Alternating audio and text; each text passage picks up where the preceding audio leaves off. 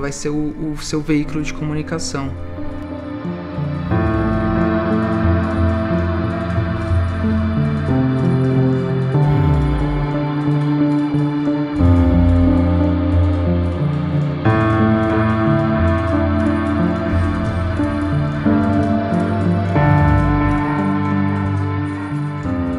nesse evento a gente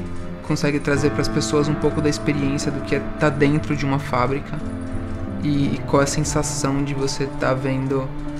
é, as mudanças num simples movimentar de uma peça, como você muda toda um, uma indústria têxtil, como você muda todo o comportamento das pessoas só porque você fez uma pequena mudança na máquina.